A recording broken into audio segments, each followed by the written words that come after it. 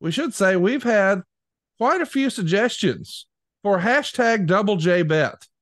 Hmm. You and I have decided we're going to make a, a fun bet for the third Saturday in October, which has become a tradition for Alabama versus Tennessee. And uh, you think your volunteers can beat my Alabama Crimson Tide? I say nay, nay. I ask for you guys. Hey, we're not going to make a monetary bet. We're going to make a fun bet. Here's some of the suggestions we got so far. Our man Casey says strap match. Winner gets to take the strap to the loser. I'd have to take your word for it, Jeff, but you said that don't hurt that bad. But I'd really rather not find out. So there's I love one. that one. I love that one. Oh, I'd like to I tie figure you like that one. lay into you, pal. Mm. Our, our pal Wes Gay says if Alabama wins, Jeff uses the UA fight song for his entrance music one week. I like that. If we could get that Alabama theme song on TV, woo, roll tide. But if Tennessee wins, Conrad has to use Rocky Top as his theme for all of his podcasts for a week. That Mm. would suck. I'd get tired of that pretty fast. I'd love to see old JR's face when that lit up. Uh, he Boomer Sooner. He's got to be happy off this weekend, but keep going with the bets. Here's another one. Loser dyes their hair pink.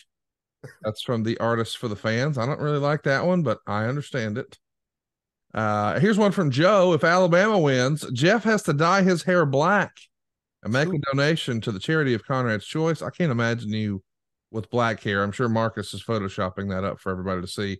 You look like you'd look like the damn Greg the Hammer Valentine from Rhythm and Blues version of Jeff Jarrett. And if Tennessee wins, Conrad shaves his beard and mustache. Uh, nobody wants to see that. Oh, it'd be nice. Uh, ben Ledbetter, friend of the show, says if Alabama wins, Jeff has to have a Bama flag displayed on his boat and wear a Bama hat while captaining said vessel next boating season.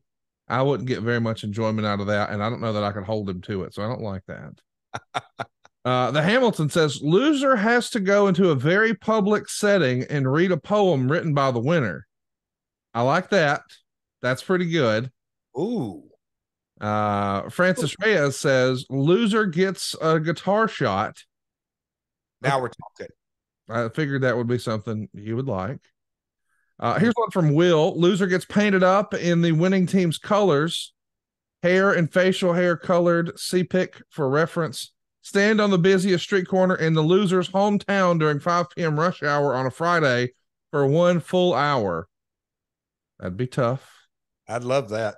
Alex McCarthy is just a crazy person and wants us to not only be humiliated, but get doggone divorced. He says loser's wife gets her head shaved, Dundee style. I don't know about that. Thanks, Alex. Appreciate that. Yeah, we're trying to make have fun here, not get attorneys involved.